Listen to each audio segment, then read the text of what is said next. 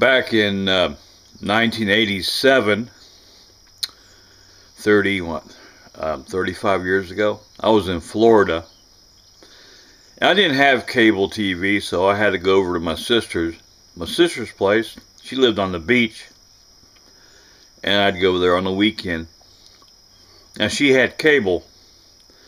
Well, I thought I'd turn on. It was it was on a Saturday, I believe. Yes, Saturday, and I was Saturday evening. She was she was gone. Anyway, you know, she uh, she left me uh, the key in a hidden place. So when I'd go over there, I'd get the key and go on in. I met her landlord, very nice guy. And she got her rent a little cheaper because her landlord was from the same area my dad's from. Yeah, same county. So he dropped the rent on her a little bit. Still, it was still pricey. Anyway, I was I turned on cable, and uh, I happened to come across this band. I apologize for the traffic noise. I come across this band playing. I don't know if it was country band. I wasn't really into it, but they was kind of playing a, a kind of cool song. And so I, I watched them sing for a little bit, and I, I got just got a good look at basically all the band members.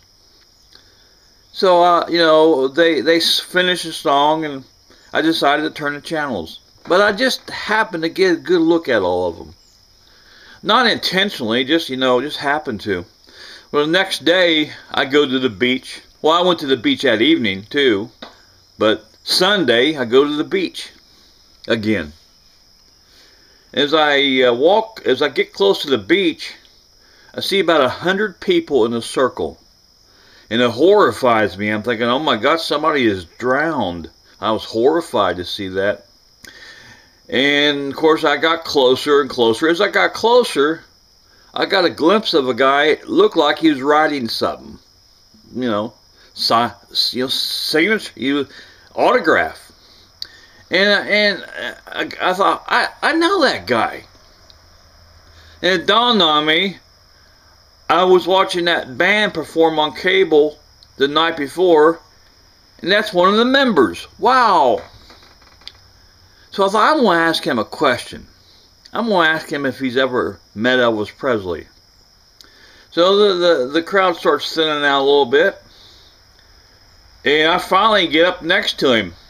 I said, I seen you on cable last night. He said, yeah, we was playing at, you know, certain location. Real nice guy. I can't think of the band's name or his. It's 1987. That's been 35 years ago. But I can't remember. I was, before I clicked on his camera, turned on his camera, I was trying to think of their names, his name, but I can't remember. But anyway, I talked to him. He said, you want an autograph? I said, no. no, I don't need no autograph. I just, I got a question for you. He says, uh, have I ever met Elvis Presley? He said, you know, he, he, knew the, he knew the question before even asking. He said, everybody asked me that. He said, yeah, I met him one time. Wow. He said, the buddy of mine uh, uh, found out he had something for, I forget what it was. He had something, it wasn't no musical thing, no guitar. It was something else he had for sale and he knew the number to Graceland. So he called him up and uh, asked for him. And uh, yeah, he come over to look at it. So he calls me, friend of mine, says, "You want to go to Graceland with me?" He said, "Yeah." He said, "Elvis is, uh, well, he's got something I want to buy." He said, "Just come up through the gate." So got, you know, I was a little nervous, you know. He said, "I get in the car with him. We go up there and." He said, when he come out, you understand why girls took off their wet panties and threw at him. In person, he was a lot better looking. He reminded me of a Greek god. Out of 10 being the best good looking, he's a 15. Till you met him in person, He's the best looking man I've ever seen. He said, you don't realize until you would meet him. I, I met him one time in person. We shook hands. But he was beyond good looking. He said, now you understand why women undress in front of him at a concert. They just don't go there to hear him sing.